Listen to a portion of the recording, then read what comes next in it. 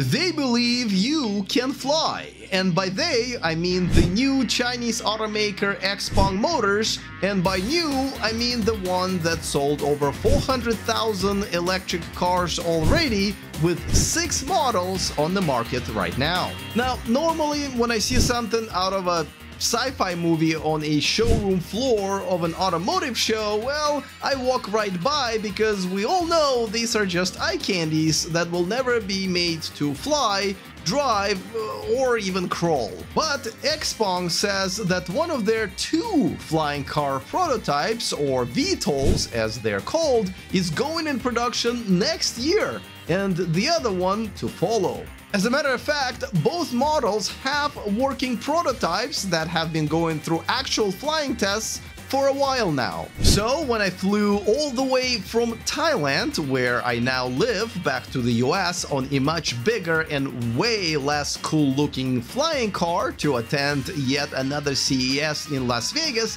I had to stop by and see it for myself. Now I will tell you more about this one in a minute, but it's the other one that should be getting all of the attention. By the way, VTOL stands for Vertical Takeoff and Landing because because it goes up and down vertically. No need to install a runway in your backyard. If you've been watching my channel for a while, you probably remember me playing around with an early prototype at one of their European showrooms in Oslo, Norway. Now, I thought it was really cool, but I didn't think it was actually going in production. But recently, XPeng unveiled the land aircraft carrier, as it's called, that actually consists of two vehicles, the six-wheeled ground vehicle and a flying module, the latest version of the one that I saw in Norway. And XPeng is planning to sell it in China for around just $140,000. The other prototype that I saw at this year's CES was this beauty,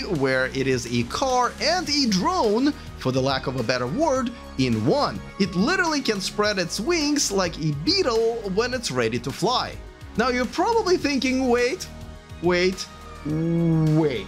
Uh, we are still not very good at, uh, you know, driving on the ground. Uh, how are they going to let us fly through the air. But as I talked to XPeng Motors president Brian Gu and the vice president of Aero HT, the XPeng's brand dedicated to aerotech, Wang Tan, I have learned that essentially XPeng is not just paving the way for their own flying vehicles, but for the entire new industry. XPeng is working with Chinese regulators to come up with a framework of how this is going to work. Something that other countries should be looking into as well. There will be tons of challenges to solve from aerospace approval and geofencing to licensing those who will manually fly and of course legal responsibilities. Now if I had to guess, a pilot's license probably would be required but the whole industry will move towards the autonomous flying as soon as it can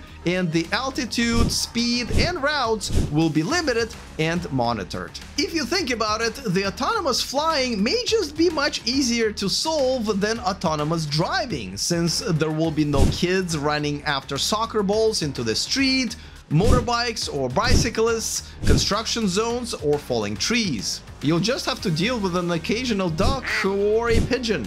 Now that I live in Bangkok, a city where heavy traffic is part of our daily lives, this is something that everyone in big cities can root for. Where would you take your very first flying car if it landed on your driveway today?